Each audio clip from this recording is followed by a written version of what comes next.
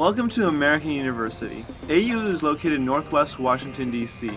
As a city that produces 1 million tons of waste every year, we as a university try to make an impact on reducing that number. So here at AU, throw away doesn't mean go away. So we're on our way to zero waste. So what does this mean? Practicing the five R's. Refuse, reduce, reuse, recycle, and rot, or compost. This zero waste goal, signed by AU's president Neil Kerwin, supports our commitment to sustainability.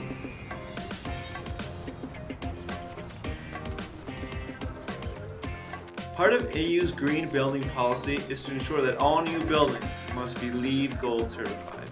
The School of International Service is the first school to achieve this status. AU is also working on LEED certifying 25 existing buildings on campus.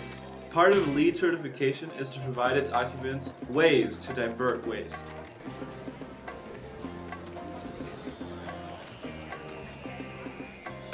All over campus you'll find these four bins. One for recycling paper and cardboard, one for recycling metal, plastic, and glass, one for composting organic waste, and one for landfill trash. All residence halls are equipped to recycle and compost. The bins are color-coded to help us sort. Hey, actually, that napkin can be composted. Okay. If it was once living, it can be composted. Any paper-based materials contaminated with liquid or food can be composted, such as greasy pizza boxes, paper plates, and that compostable to-go container from the town. But what about coffee cups? The cup can be composted, but what about the lid? Yeah, so the lid can be put in the recycling for plastic, and the cup can be put in organic compost. And then, for the lid, whenever you see this symbol right here, it goes in recycling. Thanks for letting me know. Yeah, of course. So even this cup from the DAB, even though it looks like plastic, it can be composted in the organic waste bin.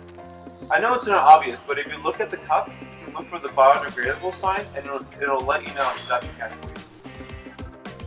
Over 80% of campus waste is recyclable or compostable. Very little has to go to landfill bins. Chip bags, candy wrappers, saran wrap, or styrofoam are really the few things that should go to landfill. To learn more about zero waste, please visit us at american.edu slash zero waste. And thanks so much for helping American University reach its zero waste goal.